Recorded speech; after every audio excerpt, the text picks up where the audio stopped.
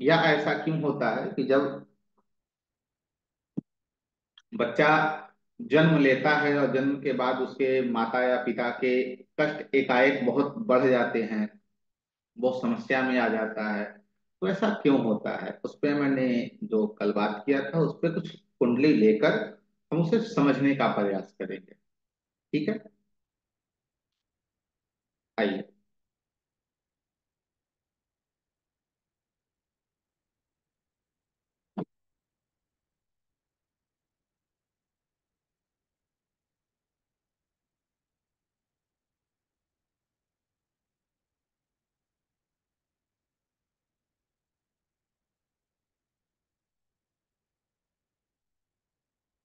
ये कुंडली आप लोग देख रहे हैं।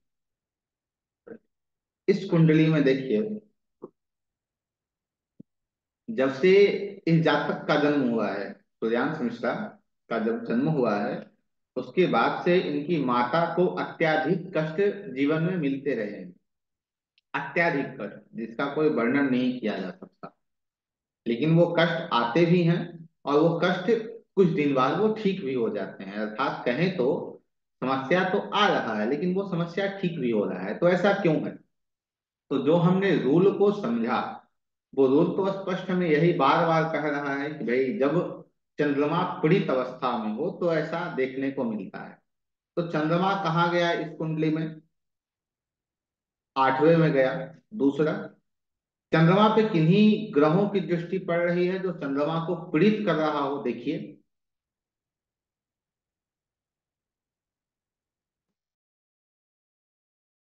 आवाज़ क्लियर नहीं है। अच्छा।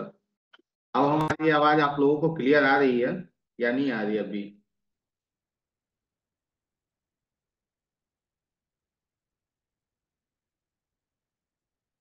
अब हमारी आवाज़ आप लोगों को क्लियर आ रही है। एक मिनट।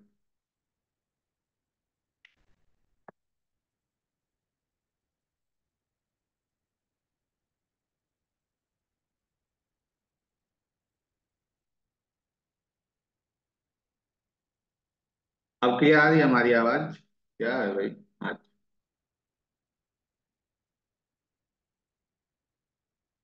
एक मिनट का समय दीजिएगा, हम देख रहे हैं क्यों ऐसा हो रहा है।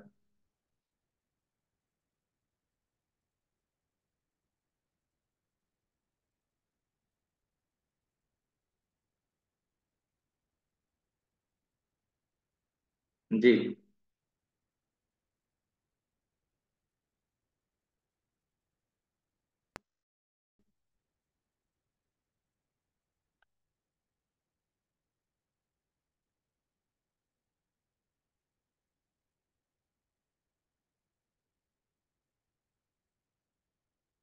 अब हमारी आवाज़ आप लोगों तक क्लियर पहुँच रही है। राहुल जी। जी। चलिए अब कक्षा को आगे बढ़ाते हैं।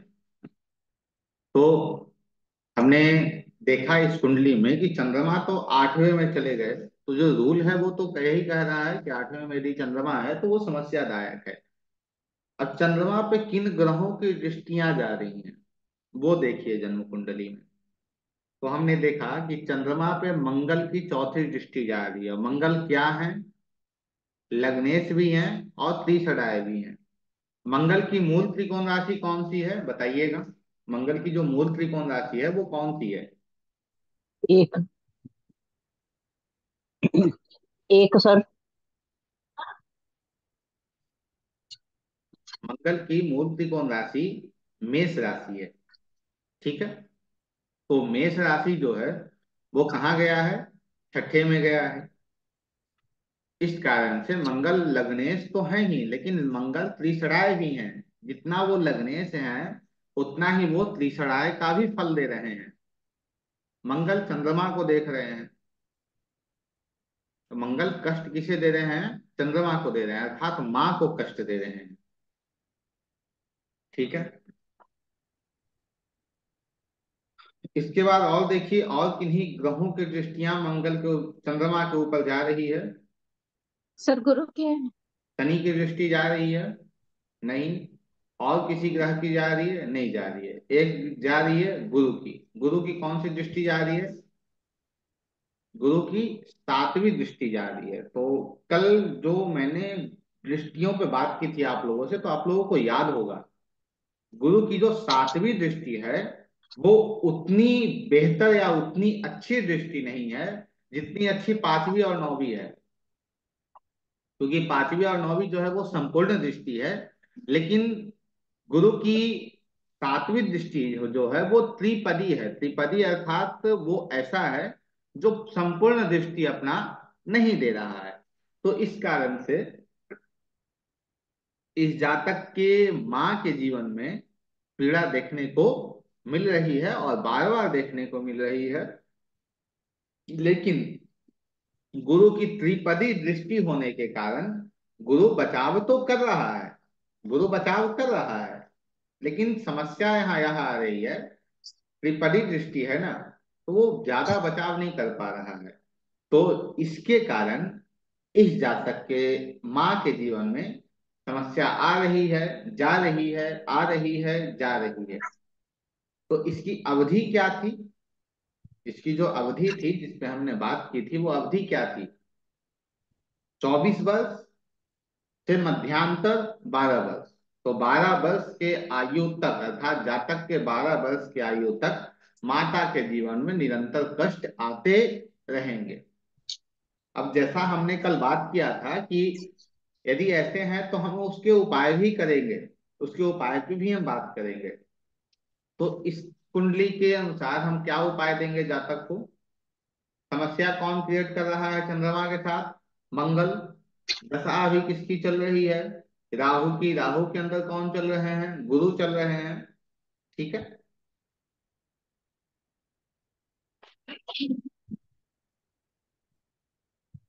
मंगल कहाँ बैठे हैं? गुरु के ही राशि में बैठे हुए हैं। तो इसके अनुसार गुरु किसके किसके रिज़ल्ट को दे रहे हैं? गुरु को चंद्रमा अपने सातवें दृष्टि से देख रहा है। गुरु जो है, वो अपना रिज़ल्ट तो दे नहीं, दे ही रहे हैं, लेकिन वो चंद्रमा का भी दे रहे हैं। क्योंकि चंद्रमा गुरु से परस्पर दृष्टिबद्ध संबंध में है और मंगल से पीड़ित चंद्रमा है। तो इस कारण से इस जातक के माँ के जीवन में अत्याधिक समस्या भी देखने को हमें मिल रही है। यह समस्या कब तक रहेगी? यह समस्या 2024 जो चल रहा है वो उसके दूसरे महीने के बाद, अर्थात इस साल फरवरी के बाद, थोड़ी ठीक हो जाएगी, क्योंकि चंद्रमा से शनि का संबंध नहीं है। तो यह वो स्पष्ट कर रहा है आ रहे हैं। ठीक है ठीक है, आ रहे हैं, वहाँ भी आ रहे हैं, पहुँच रहे हैं। ठीक। तो जब शनि जब शनि की दशा इस जातक के जीवन में आएगी तो इस जातक की जो समस्या है, वो ठीक हो जाएगी। इस जातक के माँ की समस्या ठीक हो जाएगी। आपने कहा, गुरु जो है, वो पारस पत्थर है। पांचवे हाउस का लॉर्ड है, और वो पारस पत्थर है। लेकिन अभी एक रूल पे मैंने बात किया, जिसमें दोबारा दोहरा रहा हूँ आपको, कि गुरु की जो सातवीं दृष्टि है, वो उतना काम नहीं करती है जीवन में, जितना पांचवी और नौवीं दृष्टि काम करती है। गुरु तो पारस पत्थर है ही, लेकिन गुरु यदि साथ में बैठा होता, या गुरु की पांचवी या नौवीं दृष्टि जा रही होती तो वो और बेहतर जीवन कर देता, माँ के जीवन को अच्छा कर देता। लेकिन गुरु की सातवीं दृष्टि जा रही है और पारस पत्थर है, जिसके कारण गुरु माँ को मृत्यु से बचाए हुए है। मृत्यु से बचाए हुए है, मृत्यु तक नहीं जाने दे रहा है, लेकिन कष्ट जो है, वो जीवन में वो देते रहे।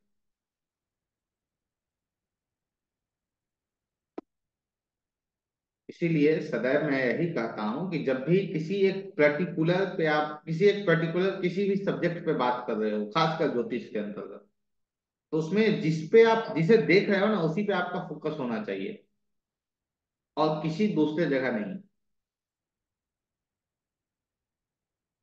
जैसे गुरु तो हमें पारस पत्थर दिख रहा है, चंद्रमा भी हमें पारस पत्थर दिख रहा है, लेकिन मंगल इफ्लेक्ट किसे कर रहा है? चंद्रमा को। तो जैसे चंद्रमा अपने गुण को गुरु के साथ दे रहा है, जैसे आप मान लीजिए, आप रास्ते में कहीं जा रहे हो, ठीक है? आपका एक फ्रेंड भी है आपके साथ। आप जो हैं तो बहुत अच्छे से हैं, आप तो अच्छे से रह रहे हो, लेकिन आपका जो फ्रेंड है, वो एक शराब की बोतल हाथ में लिए है और आप बिहार में हो, ठीक है? आप बिहार में हो उधर से पुलिस गुजरी, आपको देखा अरे आप तो बहुत अच्छे हो, लेकिन आपके साथ आपका फ्रेंड भी है, जो शराब का बोतल लिए हुए है। तो बताइएगा मुझे, पकड़, जो पुलिस अधिकारी है वो पकड़ के किसे ले जाएगा? आपके फ्रेंड को ले जाएगा या आप या आप लोग दोनों को ले जाएगा? दोनों को ले जाएगा।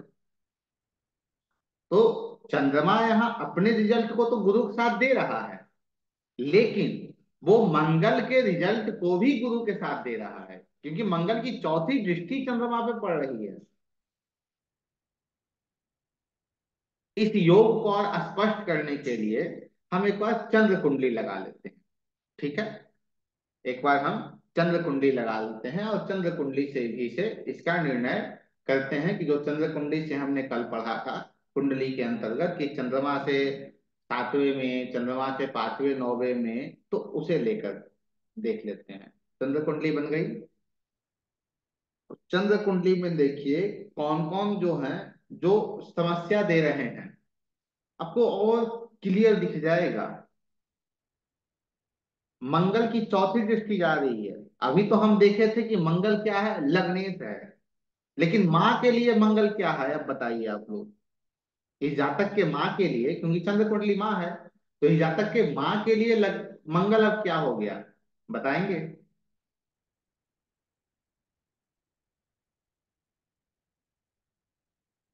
त्रिषडाय त्रिषडाय हो गया और किस प्रकार से? दोनों तरीके से।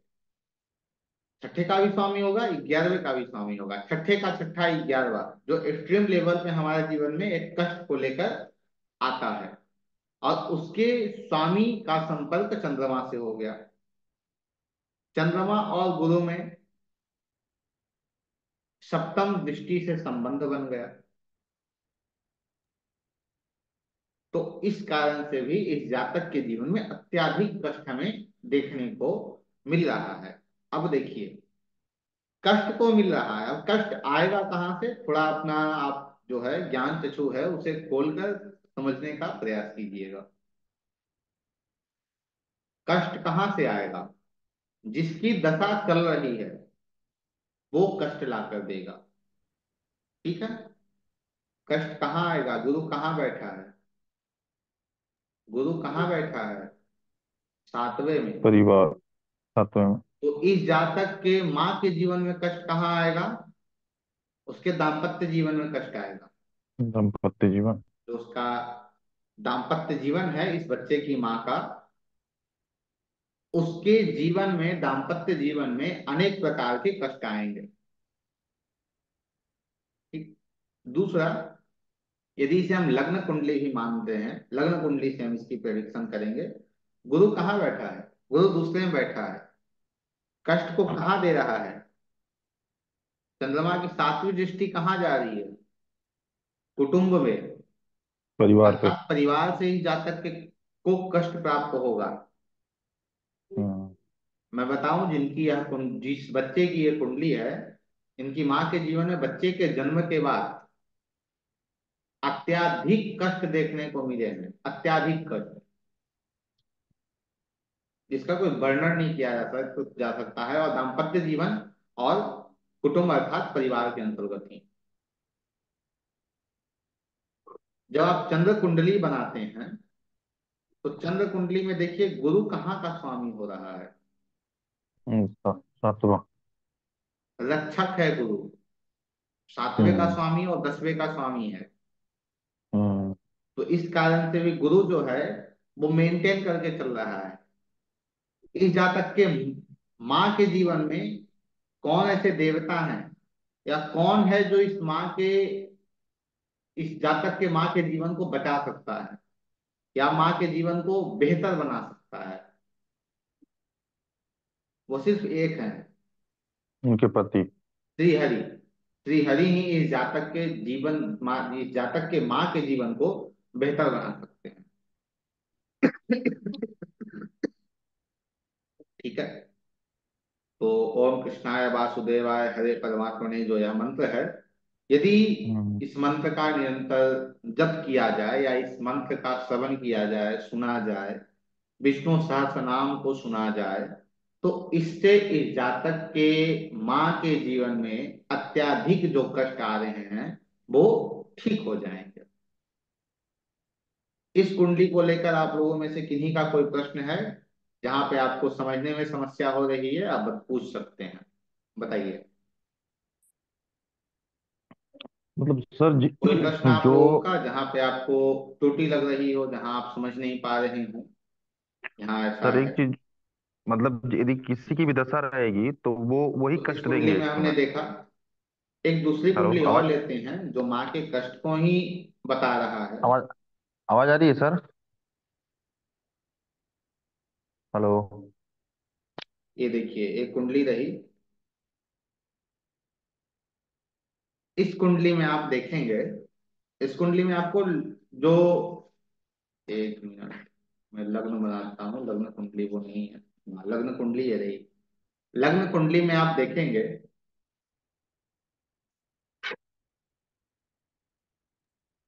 आपकी आवाज़ नहीं आ रही है। हेलो मेरी आवाज़ आ रही है सर? मेरी आवाज़ आप तक नहीं पहुँच रही है क्या? मेरी आवाज़ सुनाई दे रही है ना आप लोगों को?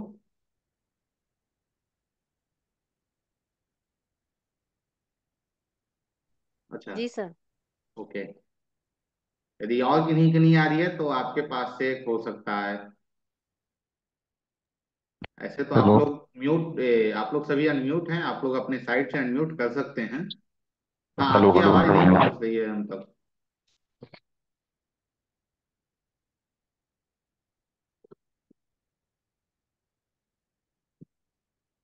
एक मिनट रुकेंगे।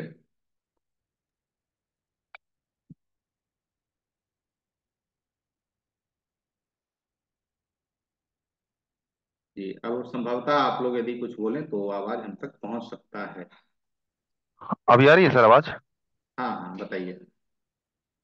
सर मैं जो पूछना चाह रहा था हम्म, कि जो इसमें जैसे अभी तो मान लीजिए गुरु की चल रही दशा हाँ। तो जिसकी भी दशा आएगी वो इनको कष्ट देगा फिर? नहीं।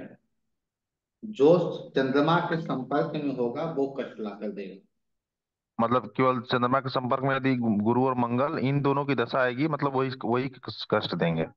हाँ जैसे शनि आएँगे तो शनि की दशा जो है वो इस जातिका के लिए मतलब इस इस जातक के माँ के लिए कष्टदायक नहीं होगी हम्म।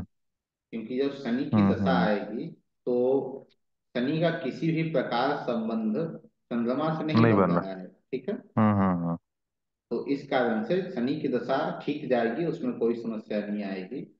लेकिन प्रमुखतः हम्म, आप जब माँ का विचार करते हैं तो उसके लिए चंद्र कुंडली को देखना उतना ही आवश्यक है जितना आप लग्न कुंडली को देख रहे हैं। मतलब फरवरी से इनकी इनकी माता की तो, तो स्थिति सही हो जाएगी? हाँ सही हो जाएगी और मुझे तो आज से ही जैसे जनवरी जैसे प्रारंभ हुआ है तब से ही मुझे मैं इन्हें व्यक्तिगत जानता हूँ ठीक है? हम्म हम्म हम्म। तो इनके जीवन जो है वो कुछ हमें ठीक दिख रही है। इसलिए मैंने इनकी कुंडली ली। और कोई तो प्रश्न है उपाय में उप, उपाय में बस सर उनको वही बताया वो जो मंत्र आपने बताया गुरु जी का, गुरु का। गुरु का नहीं जैसे वहाँ समस्या कौन दे रहा है? एग्जैक्ट बताइए समस्या कौन दे रहा है? वहाँ पे तो गु, गुरु दे रहे हैं समस्या। हम्म, गुरु कैसे समस्या दे रहे हैं? ना गुरु दे रहे हैं ना चंद्रमा। समस्या मंगल दे रहा है। हाँ मंगल। मंगल क्या है?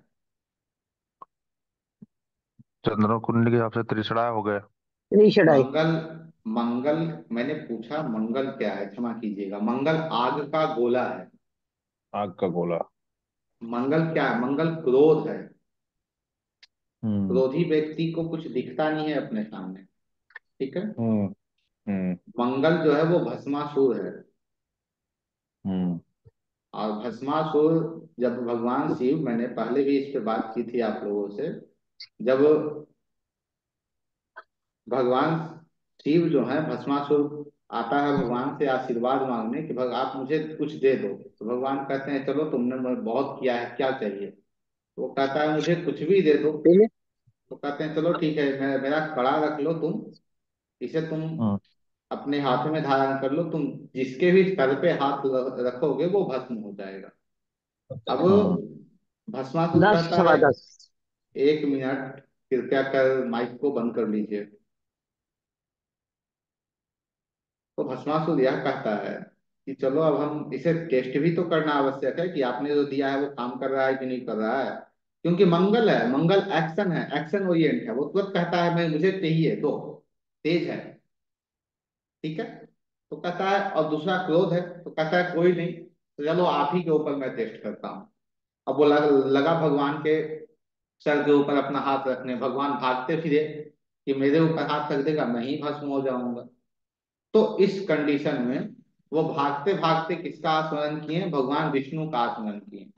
भगवान विष्णु आए क्योंकि भगवान विष्णु क्या है? रक्षक हैं हमारे पालनहार हैं। भगवान विष्णु आए, किस रूप में आए? मोहिनी के रूप में आए। किस रूप में? मोहिनी के रूप में आए। और मोहिनी के रूप में उन्होंने नृत्य करते हुए ऐसे डांस करते करते, नृत्य करते करते उन्होंने कुछ ऐसे ऐसे स्टेप किए। अब भस्मासुर कहा कि, अरे यार, मैं भी डांस करूँगा। तो कहते हैं, ठीक है जैसे, जो जो स्टेप मैं कर रहा हूँ, वही स्टेप तुम भी करना। तो वो अपना स्टेप भगवान दिखाते हैं और स्टेप करते करते अपना सर वो अपने, अपना हाथ अपने सर के ऊपर रखते हैं तो भस्मासुर भी अपने हाथ को अपने सर के ऊपर रखता है। और वो जैसे ही अपना हाथ अपने सर के ऊपर रखता है, वो भस्म हो जाता है। ठीक है? तो उस मंगल रूपी भस्मासुर को नष्ट करने के लिए हमें किसकी आवश्यकता पड़ती है? श्री हरि की। तो मंगल के उपाय के लिए हम किसका प्रयोग करेंगे? भगवान श्री हरि के मंत्र का। किस मंत्र का? संभवतः प्रयोग ज़्यादा किया जाए। विष्णु सहस्त्र नाम का या एक दूसरा मंत्र है, जो भगवान के उग्र स्वभाव को ही दर्शाता है। एक मोहिनी का है जो आपको अच्छा काम करेगा। जैसे देखिए मान लीजिए कोई व्यक्ति आपके पास आया और आपको कह रहा है, अरे यार तुम तो बहुत बेकार इंसान बहुत, तुम बहुत बेकार हो। अब आप उसको कहिए हाँ हाँ मैं बेकार हूँ, बेकार नहीं, मैं बहुत बेकार हूँ। छोड़ो, जाने दो। फिर आपको दो चार आप शब्द बोला। कहते हैं इतना ही, उससे भी बढ़कर मैं हूँ। कोई आपको बोल रहा है, अरे, तुम धोखेबाज हो। आपको धोखेबाज? तो तुम तो इक्यानवे हो, पचास को तुमसे पहले मैंने धोखा दिया है। अब उस व्यक्ति की स्थिति ये हो जाएगी कि वो क्रोध कर रहा है, आप मुस्कुरा रहे हो। तो उसकी स्थिति ऐसी हो जाएगी ना कि वो इतना क्रोध कर लेगा कि वो खुद भस्म हो जाएगा। तो ये मोहिनी कौन है? भगवान श्री हरि या फिर जब हम कहें मुस्कुराहट, जो मुस्कुराना। कौन सा ग्रह है जो हैप्पीनेस को दिखाता है, बताइए? बुद्ध। जो हैप्पीनेस को हमारा दिखाता है तो बुद्ध के जो देवता हैं वो ब्रह्मा नहीं है गणेश नहीं है बुद्ध के देवता जो है वो श्रीहरि हैं भगवान विष्णु हैं। तो इसलिए ही मंगल के उपाय के लिए सदैव भगवान विष्णु के उपाय को करना चाहिए। ठीक है? क्लियर है आप लोगों को? जी सर। चलिए आगे बढ़ते हैं। एक दूसरी कुंडली लेते हैं। उसके बाद फिर पिता के, पिता को क्यों कष्ट होता है, उस पर भी आज थोड़ी चर्चा करेंगे। ये रही कुंडली। इस कुंडली में देखिए, चंद्रमा पीड़ित आपको दिख रहा है।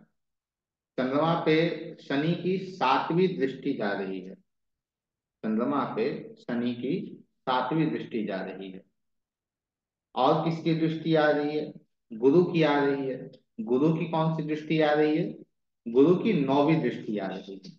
ठीक है? गुरु क्या है इस कुंडली में? गुरु नौवे और बारहवें के स्वामी है ठीक है? अब देखिए, जो रूल सूर्यांश मिश्रा की कुंडली पे आपको नहीं लगा, वो रूल आपको यहाँ लगते हुए नहीं मिलेगा। क्योंकि उसमें आपका प्रश्न था कि गुरु की तो भाई सातवीं दृष्टि जा रही है, गुरु पारस पारसमणि है। इस कुंडली में गुरु पारसमणि है और गुरु की जो है वो नौवीं दृष्टि जा रही है। और इस कुंडली में शनि से चंद्रमा पीड़ित है। शनि इसमें भी त्रिषडाय है। यदि हम चंद्रमा को लग्न बनाते हैं तो देखते हैं कि क्या स्थिति चंद्रमा की है।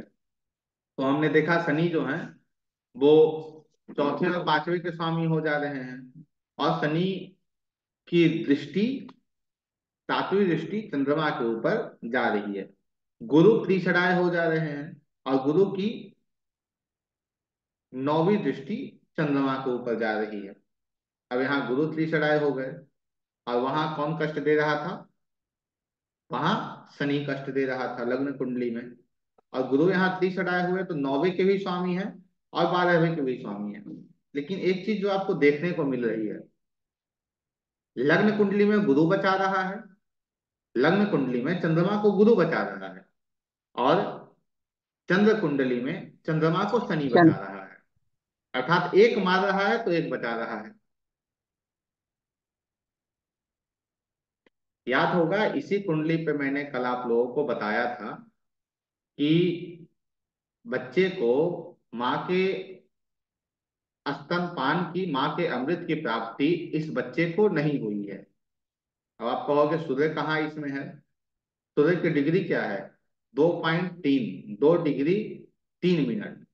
तो जब आप इसे भाव श्रीपति अर्थात एक निर्यन भाव चरित कुंडली होती है, वो यह बताती है कि आपके ग्रहों की एग्जैक्ट जो लोकेशन है, एग्जैक्ट वो कहाँ बैठे हैं, वो बताती है।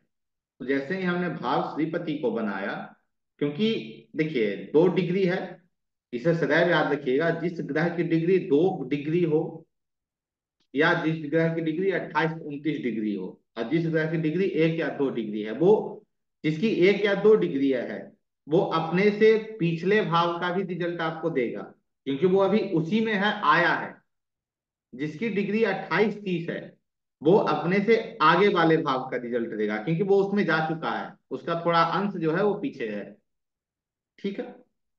तो इस कुंडली में जब हमने श्रीपति को बनाया, क्योंकि सूर्य की डिग्री जो है, वो कम है तो सूर्य कहाँ आ गए? सातवें में आ गए। तो जो कल हम जिस रूल पे हमने बात की थी, वो क्या रूल था? यही था ना कि चंद्र कुंडली में, कुंडली के अंतर्गत यदि सूर्य सातवें भाव में मेष या तुला राशि में आ जाए या सूर्य उच्च के या नीच के हो जाए तो उस स्थिति में जातक को माँ के अमृत की प्राप्ति नहीं होती है। ठीक है? तो वो भी रूल इस पे हमने बिल्कुल देखा, वो मैच कर रहा था। फिर हमने जो इस रूल को अभी लगाया, शनि और गुरु चंद्रमा को पीड़ित कर रहे हैं, उससे भी हमने देखा। यह स्पष्ट रूप में पता है क्या कह रहा है। यह स्पष्ट रूप में कह रहा है कि भाई, इस जातक के माँ को कष्ट तो होगी, मैं कष्ट दूँगा। दोनों ग्रह यही कह रहे हैं कि मैं कष्ट दूँगा, एक कष्ट देगा, दूसरा बचाएगा। दूसरा कष्ट देगा, पहला बचाएगा। एक कुंडली किसी और की नहीं है जो कुंडली है वो हमारी ही है, आप लोगों को पता होगा ही, ये कुंडली मेरी ही है। और संभवतः जो मेरा जीवन रहा वो माँ के साथ रह के भी माँ के साथ नहीं रहा, क्योंकि मैं सदा माँ के पास नहीं रहा हूँ। और मैं समझता हूँ कि बहुत कम उम्र के अंतर्गत ही मेरी माता जी हमारे हमें छोड़कर चली गई। अर्थात ये जो दो ग्रह बचा रहे हैं, शनि बचा रहा है और गुरु बचा रहा है। एक में गुरु बचा रहा है, एक में शनि बचा रहा है। ठीक है? तो मेरी आयु के सत्रहवें अठारहवें वर्ष में मेरी माता जी हमें छोड़कर चली गई। तो का हो गया। तो यह जो रूल स्पष्ट यह कह रहा है हमसे कि जो 24 वर्ष का जो हमने कॉन्सेप्ट एक बताया यह जो अरिष्ट योग है, वो 24 वर्ष के अंदर काम करते हैं। तो ऐसे काम कर रहे होते हैं हमारे जीवन के अंतर्गत, ठीक है? तो खास कर हमें यह देखने की आवश्यकता है कि यदि गुरु की दृष्टि जा रही है और चंद्र कुंडली के अंदर भी गुरु अच्छी स्थिति में आपको देख रहे हैं तो ऐसे में माँ की मृत्यु नहीं होती है, माँ सकुशल रहती है, माँ को विशेष कोई समस्या देखने को नहीं मिलती है। ठीक है? तो कब जब भी आपको माँ पे विचार करना हो, जो जो भी आपको रूल मैंने माँ को देखने के लिए, मातृत्व, मातृ कष्ट के विचार के लिए बताए हैं, उन सभी रूल को आप अप्लाई लग्न कुंडली में भी करेंगे और साथ ही चंद्र कुंडली पे भी करेंगे।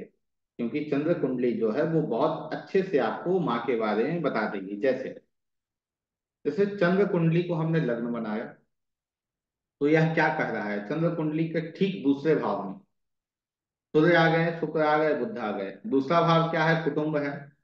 दूसरा भाव क्या है? परिवार है। ठीक है? अब सूर्य कहाँ का लॉर्ड है? सूर्य त्रिसराय है। वो यह कह रहा है कि इस जातक के माँ के परिवार में कष्ट होगा। कुटुंब में कष्ट होगा। क्यों? क्योंकि त्रिसराय वहाँ गए फिर साथ में शुक्र जाके बैठे हैं। शुक्र कहाँ के स्वामी है? लग्न के भी स्वामी है आठवें के भी स्वामी है। वहाँ कष्ट भी आया लेकिन लग्नेश भी आ, आ गए जो बचाव कर रहे हैं। फिर बुद्ध आ गए। बुद्ध कहाँ के स्वामी है? तीसरे के नौवे के स्वामी है और बारहवें के स्वामी है। तो यहाँ यह भी बचाव कर रहे हैं। तो यह स्पष्ट कर रहा है कि जातक के माता के जीवन में पारिवारिक संबंध कष्ट आएँगे लेकिन वो कब आएँगे? जब शुक्र की और बुद्ध की दशा जातक के जीवन में आएगी। तब। क्योंकि शुक्र और बुद्ध जब आएँगे तो सूर्य के रिज़ल्ट को वो दे रहे होते हैं। जब सूर्य की दशा आएगी तो विशेष कोई समस्या नहीं आएगी। ठीक है? तीसरा भाव, जो चंद्रमा से तीसरा भाव है, वहाँ पे किसकी दृष्टि जा रही है? देखिए, वहाँ पे किसी की दृष्टि जा रही है। मंगल की दृष्टि जा रही है। कौन सी दृष्टि जा रही है? चौथी दृष्टि जा रही है। मंगल कहाँ का स्वामी है? मंगल सातवें का स्वामी है और मंगल दूसरे का स्वामी है। दोनों मारक ग्रहों का, दोनों मारक भावों का स्वामी है। मंगल की चौथी दृष्टि वहाँ जा रही है। तो वह कहाँ के तत्वों को लेकर जा रहा है? सातवें के तत्वों को लेकर, दूसरे के तत्वों को लेकर और बारहवें के तत्वों को लेकर। और वहाँ कहा जा रहा है? त्रिसराय अर्थात तीसरे भाव को देख रहा है। तीसरा भाव क्या है? हमारा शारीरिक पौरुष है। पौरुष कहने का तात्पर्य, शरीर में हमारी कितनी शक्ति है वह दिखा रहा है। तो मंगल जब दूसरे और सातवें और बारहवें के कारक तत्वों को लेकर वहाँ जा रहा है तो आपकी जो मस्तिष्क है जो आपका माइंड है वो क्या कहता है? क्या अच्छा है या खराब है? बताइए। मंगल कैसा रिज़ल्ट वहाँ जाकर देगा? अच्छा रिज़ल्ट वहाँ दे, देगा या खराब रिज़ल्ट देगा?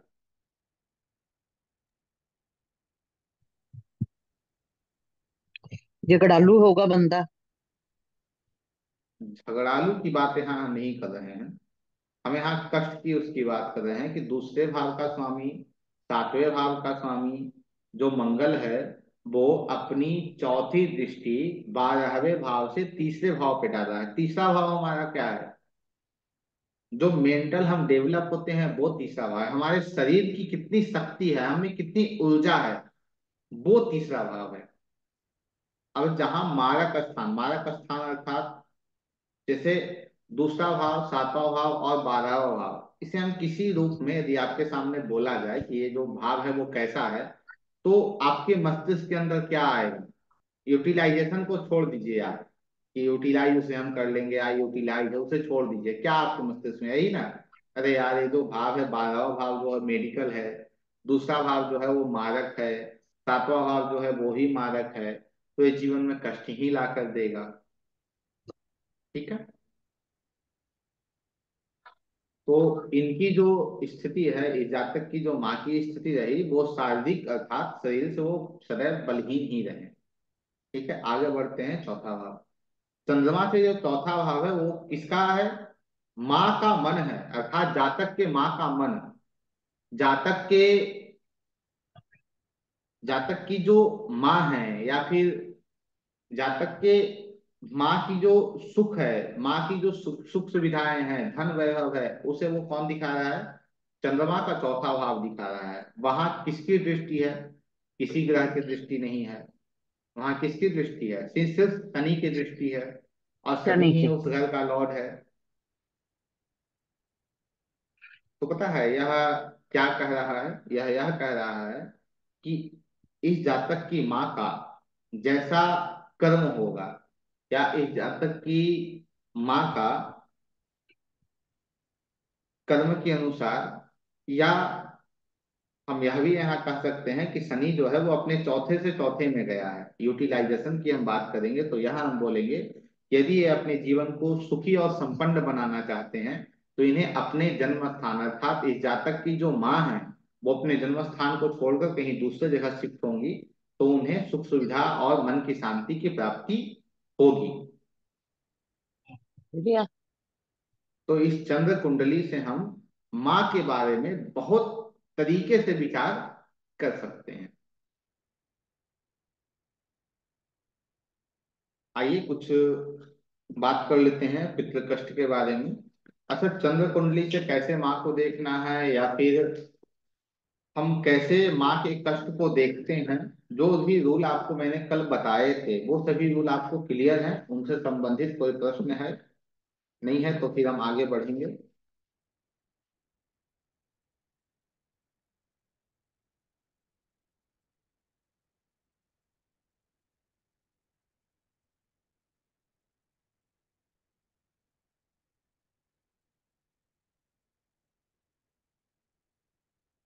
जी।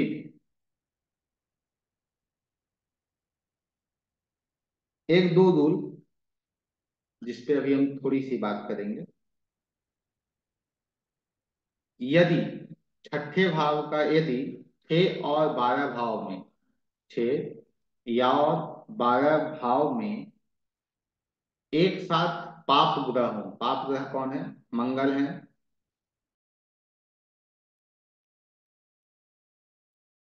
यदि छह और बारह भाव में एक साथ पाप ग्रह बैठे हों।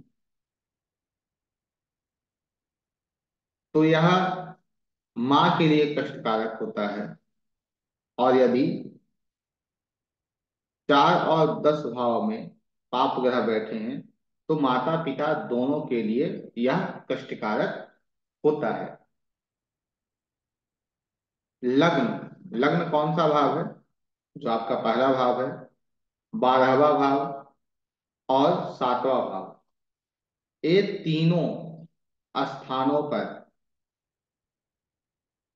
पाप ग्रह चले जाएँ तो आपके जीवन के अंतर्गत अर्थात जिस भी जातक का जन्म हुआ है और उसके जन्म कुंडली में, लग्न में, द्वादश में और सप्तम में पाप ग्रह हैं तो उस जातक के जन्म के बाद ही उस जातक के समस्त परिवार में, पूरे परिवार में कष्ट कारक होता है, पूरे परिवार को कष्ट होता है। यहाँ भी वही कंडीशन है कि शुभ ग्रहों की दृष्टियाँ नहीं होनी चाहिए। यदि शुभ ग्रहों की दृष्टियाँ हैं तो यह ज़्यादा कष्टकारक नहीं होगा, वो ज़्यादा समस्यादायक नहीं होगा। यदि शुभ ग्रहों की दृष्टियाँ नहीं है तो यह अत्याधिक कष्टकारक होता है। एक कुंडली मैं आपके सामने रखना चाह रहा हूँ। एक मिनट, आप इसी रूल पे एक कुंडली हमारे पास है, मैं आपके समक्ष रखूँगा।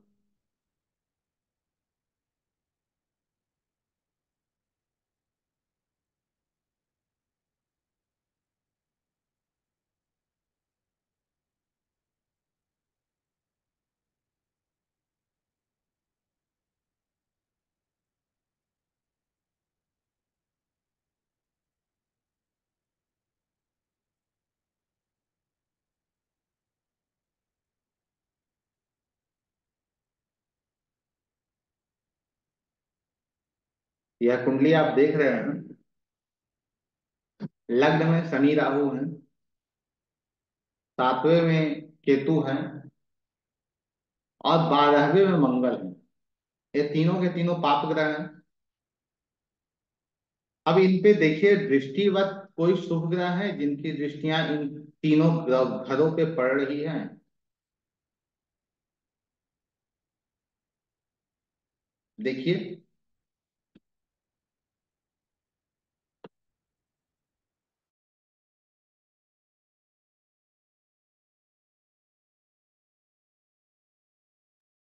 यह कुंडली आप लोगों को दिख रही है ना? जी गुरु जी दिख रही है। दिख रही है। गुरु की दृष्टि गुरु की दृष्टि गुरु की दृष्टि कहाँ जा रही है बताइएगा भाई। गुरु की पहले दृष्टि सातवें और बारहवें भाव पे पहले सातवें और बारहवें भाव में जो इस रूल पे हमने बात की कि पहले भाव, सातवें भाव और बारहवें भाव में इन तीनों स्थानों पे पाप ग्रह हो। पाप ग्रहों से यह योग बना हुआ था, पाप ग्रहों और उनपे यदि शुभ ग्रहों की दृष्टियाँ नहीं है तो यह जातक के पूरे परिवार के लिए कष्टकारक होता है। जातक के ओवरऑल पूरे परिवार के लिए यह कष्टकारक होता है।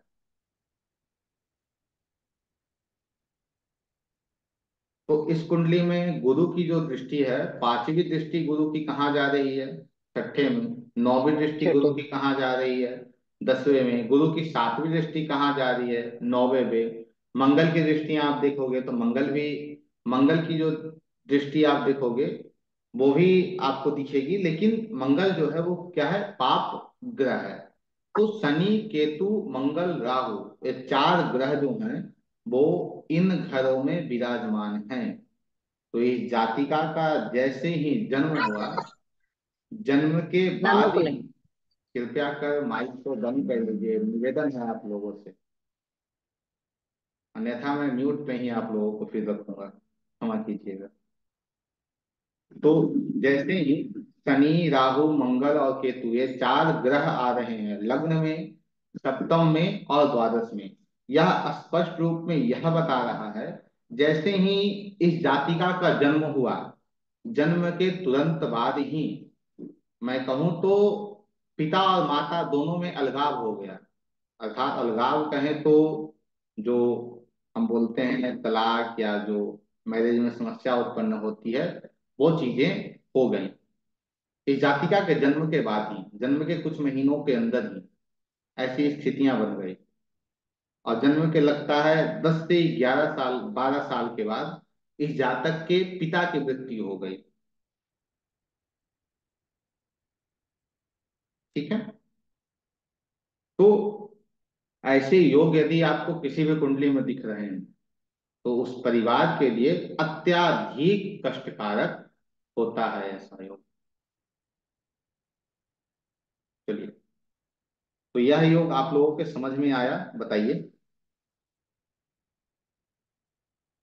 यह योग आप लोगों के समझ में आया कैसे इसे देखना है या कैसे काम कर रहा है? जी सर। चलिए अच्छा। तो दोहरा दे रहे हैं। प्रथम सप्तम और द्वादश में जन्म के समय ही यदि अशुभ ग्रह आ जाएँ जो पाप ग्रह हैं वो आ जाएँ और शुभ ग्रहों की दृष्टियाँ ना हो तो जातक के पूरे परिवार के लिए यह कष्टदायक होता है। ठीक है? यह कब तक रहेगा? यह 24 वर्ष के आयु तक रहता है। धीरे धीरे जैसे ही ऊपर की ओर बढ़ते जाएगा जातक का आयु वो धीरे धीरे कम होता चला जाएगा। 12 साल के बाद और धीरे धीरे कम होता चला जाएगा। सर अगर किसी एक घर में प्लेनेट ना हो तो? तो देखिए यदि किसी एक घर में प्लैनेट नहीं हो तो स्पष्ट रूप में है जो रूल हमारा है वो मैच नहीं कर रहा है बस। जैसे राहु केतु तो हो ही सकते हैं। राहु यदि राहु लग राहु लग्न में है तो केतु सातवें में निश्चित आ जाएँगे ना। बिल्कुल बिल्कुल बिल्कुल। यदि खाली हो तो कोई प्रॉब्लम नहीं।